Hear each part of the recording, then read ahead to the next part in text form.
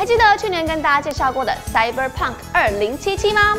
听到名字可能还有点模糊，不过看到这个框框里面的游戏画面，应该就很有印象了吧？没错，这个暴乳机器人正妹又要来告诉大家什么游戏情报呢？请看我们的详细报道哦。由巫师制作团队打造的全新作品《Cyberpunk 2077》，自从推出预告后，讨论不断。其中亮点莫过于是预告中的暴乳机器人正妹啦。而影片中子弹飞梭的镜头，也让玩家们不禁怀疑，会不会是一款第一人称射击的 FPS 游戏呢？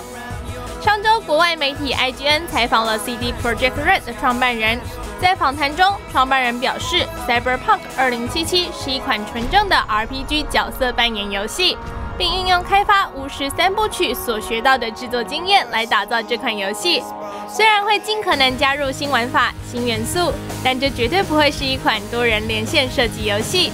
后续的追踪报道也请继续锁定我们电玩宅速配喽。